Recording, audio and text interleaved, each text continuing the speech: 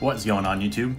So in today's video, I want to talk about what might be the most sought after LeBron insert 20 years from now.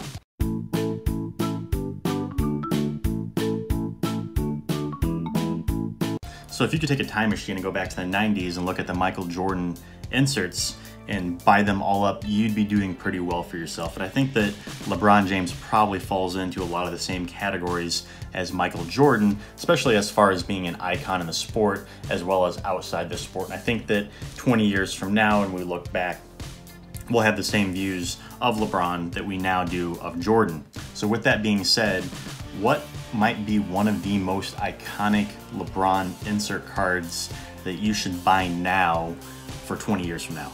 So if you had a time machine and go back for Michael Jordan, your first instinct would be buy the Metal Universe precious metal cards, and those have shot up in value when they do come to auction to well over six figures, and in high grade could probably be over a million dollars.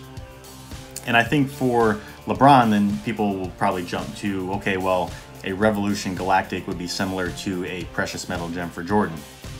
And that's great, and I, I do believe that. However, trying to find a 2015 Revolution Galactic LeBron is already near impossible. They might come to sell once every one to two years, and that card is already $15,000. So what are some LeBron cards under $1,000 that will be an iconic insert set 20 years from now? So, without further ado, if you haven't guessed it yet I believe that the LeBron James 2016 from downtown insert will be the insert to have outside of the Galactics from the first couple years in Revolution. This card in PSA 10 right now can be found for around a $1,000 or so. And this is the first year that Panini made the From Downtown insert.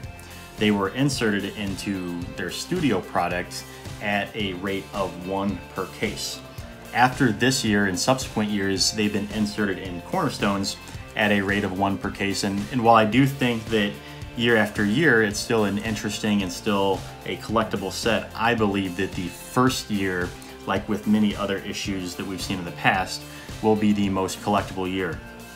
These cards came out pretty well from the pack condition wise, so finding a PSA 10 or a BGS 9.5 isn't very difficult and I've got a couple of these for my collection. I actually had a couple of the subsequent years that I have since sold off just because I really like the design of the 2016. I think when we look back 20 years from now and we say what are the iconic insert sets, this will be one that we'll look at as an iconic card and I think has a lot of potential from an investment standpoint to increase substantially over the next 5, 10, and again 20 years. So let me know in the comments what you think. Let me know what you think other potential LeBron insert cards could become iconic in 20 years from now.